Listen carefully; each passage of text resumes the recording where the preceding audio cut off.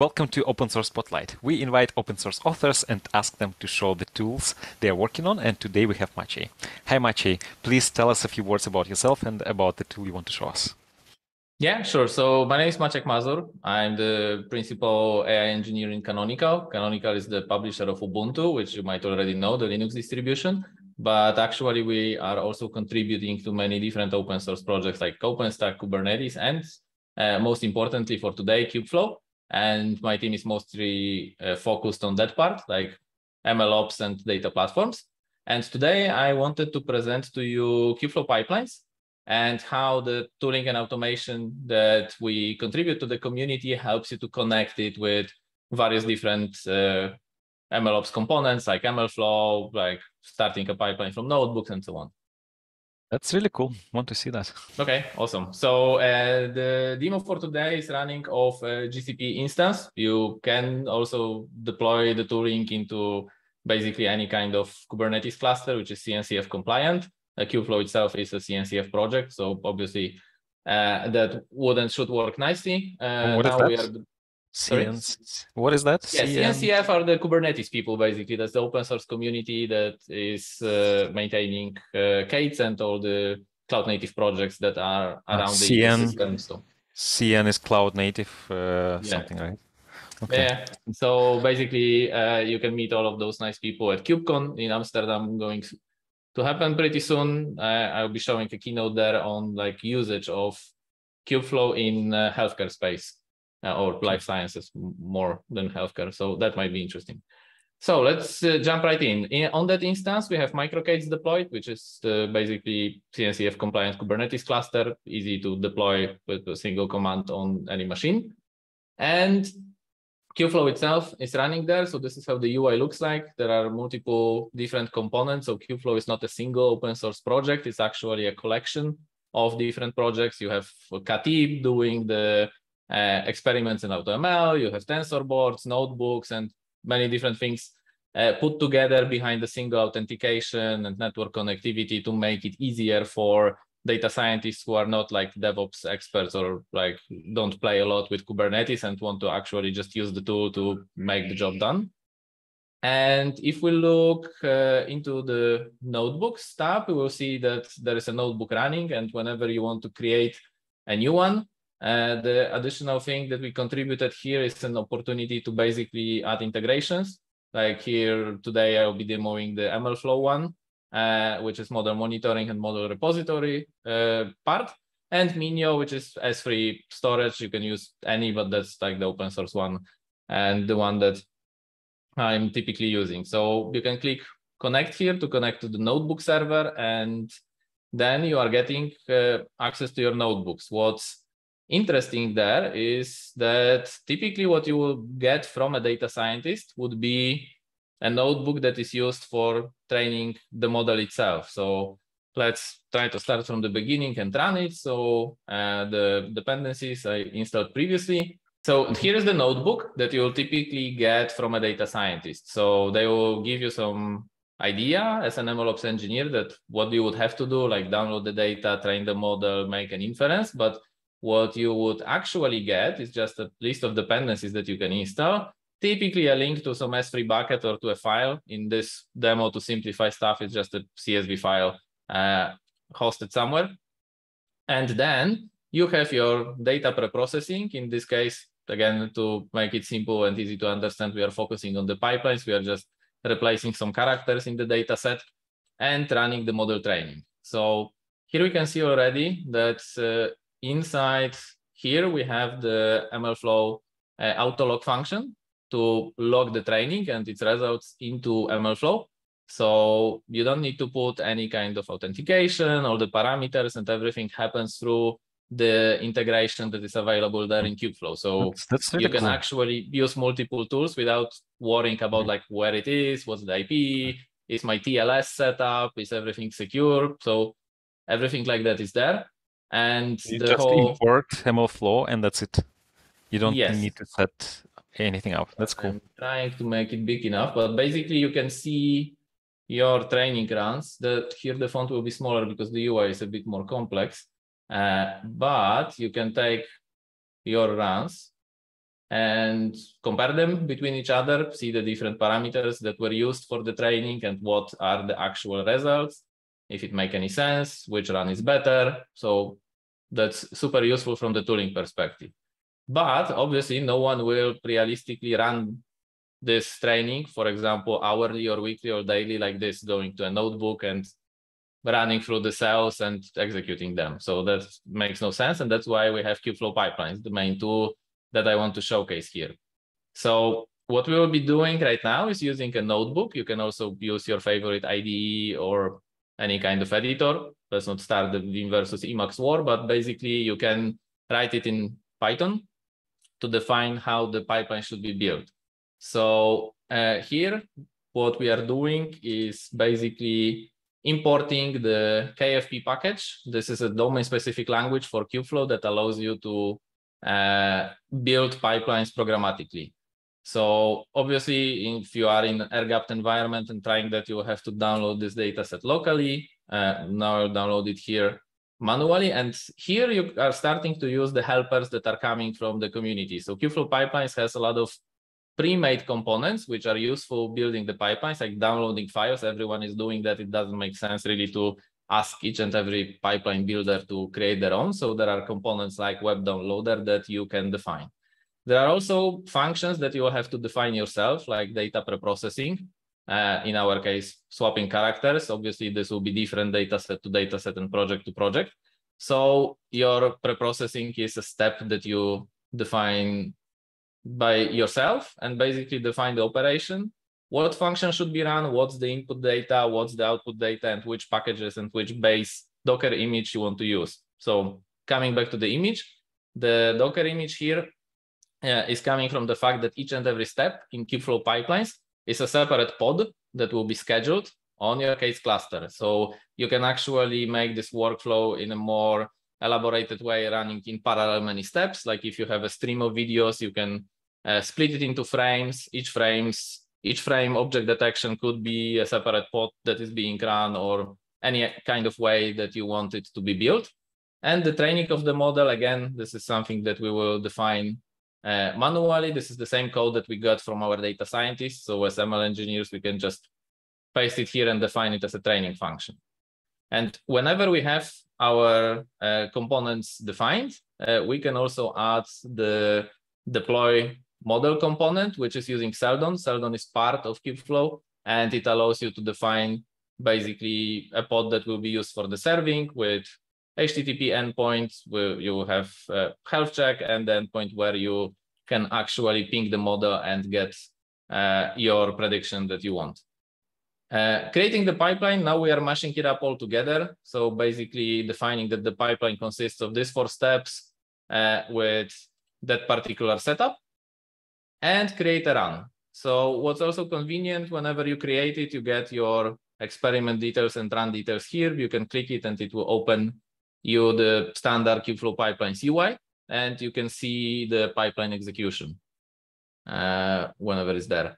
Uh, so uh, it takes some time because the GCP machine is not that big. So we can see that the pipeline already started executing.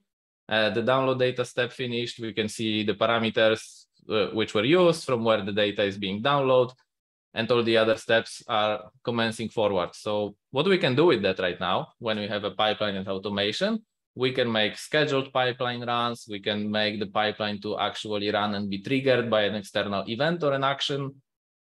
And we can also see, since the pipeline is hooked uh, with MLflow, uh, since we run it again, we can already see that we have additional experiments available here in the tab uh, for the runs that we created right now. And uh, every time the pipeline will run, we are able to see the parameters which were used and how good the model did during that partic particular training. You can also hook it up to get additional metrics about model drift and data drift and any kind of uh, things that you want to actually monitor and you know make sure that your MLOps setup is running correctly. So that's more or less it for like the quick intro. Uh, do you have any questions? I do, yes. I'm looking at this. So it looks like uh, so Kubeflow pipeline pipelines is a workflow orchestrator, right? So it allows us to schedule to define a workflow, which is a sequence uh, or a directed acyclic graph of multiple steps, right? And then execute these steps in order. So I'm wondering what's the main benefit of using Kubeflow compared to other tools like, I don't know, Airflow or Prefect or like, you know, this more classical, let's say, uh, data pipeline tools? So Kubeflow actually also uses a classical tool in the background. It uses Argo uh-huh. For the workflows. Uh, so the benefit here uh, that I see with Kubeflow is that the fact that this is integrated with the rest of the ecosystem out of the box. So as I said, we are using a method in order to uh, hook it up to other components like S3 storages, like MLflow, and for example, Spark and all the other tools that you might get. So uh, let me show you how it looks like. Not sure how well it's visible, so I can make it a bit bigger. Uh, so this is the deployment that we actually have on the GCP machine that uh, I shared. What do we have here? The all the components that are here, like Katib, Kubeflow pipelines, Minio, MLflow, are orchestrated with a tool called Juju and Charms that we develop. And with that, uh, you have the full orchestration across Kubernetes clusters. You get access to GPUs, even in more complex scenarios, whenever you have like a couple of data science teams working together, which sometimes looks pretty funny. If you go to like a huge life sciences companies making uh, medicine for everyone in the planet and you see that they have a big whiteboard with all the gpus listed and people put sticky notes like who is using this today? Uh, so normally uh, what you can do you can use kubernetes with additional schedulers because the default one is not that great with gpus like uh, YuniKorn or volcano or whichever you prefer and then you are able to use vGPUs MIG and grid computing and different stuff from nvidia allowing you to slice or pull gpus together Kubeflow is aware of all of this. And whenever you do training or you want to schedule certain pods to run or components of the pipeline, all of those pods will be workload placed in the correct way and use your infra. So I think that that's the biggest benefit. I mean, if you have a small environment and you know training between you and your colleague, maybe it's not that beneficial. It's just yet another pipelining tool. But if you start getting big, this makes mm-hmm. more and more sense. Okay. And uh, I think in your demo, the most difficult part is actually not running the demo, but the setup you did before the demo. So I'm wondering yes. if there is any resource that you can uh, point to where, that explains how you actually prepared everything. Yeah, sure. So basically, there is the whole guide on how to deploy and install it, and it's called the Kubeflow Quick Start for the Charmed Kubeflow. So if you go back to uh, the Charmed Kubeflow website, which is charmed-kubeflow.io. Uh, in the documentation section, uh, you can see the whole like how to start and how to install. Uh, and it has all the steps, just like in any kind of tutorial on how to set it up on your local machine, how to make the dashboard accessible. And as you can see, this is fairly short because if you have Juju deployed, the whole installation is just it is uh, surprisingly way shorter than I expected. Yes. So the whole thing that we are doing is basically taking the learnings that we got from Ubuntu. As you know, it's simple and easy to use installing packages, just apt install something. Uh, in a very complex Kubernetes application with 30 components, it's also as simple as that. So that, that's what we contribute basically to the community. We will make sure to include this link in the description. And now I have a few questions about this project. So I know Kubeflow is a huge project. And uh, the question I usually ask is how many people are working on this, but I don't know if you can actually answer that because I know it's like thousands or quite a lot, right? For Kubeflow. Well, there are many people involved in Kubeflow in general. There are several bigger companies contributing. There are our colleagues from like Arrikto, from Google. Obviously, Canonical is contributing there. Uh, our team is like uh, dedicated engineering is eight people plus mm-hmm. field engineers who are actually deploying that and making all of those notebooks and automation. That's again another like 20 people. So, uh, but in total, the community would be 200 to 300 people in size in terms of contributors and tons of users who are actually super valuable because they contribute like ideas for documentation, tutorials, and that kind of stuff and that's hard to judge. I, I'm not really sure how many people are mm-hmm. doing that. And if somebody who is watching this video wants to contribute to either by using it or I don't know by actually doing some code, what's the best way of getting started?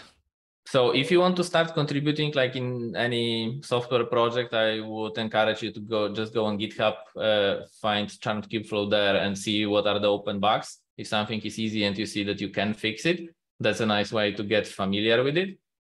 If you want to contribute more from a user perspective, you can take the tutorial, go over it and try to basically build a notebook, win a Kaggle competition with it, write a blog post about it, make some more noise. We always need more people in the community, so that would be an awesome way to start.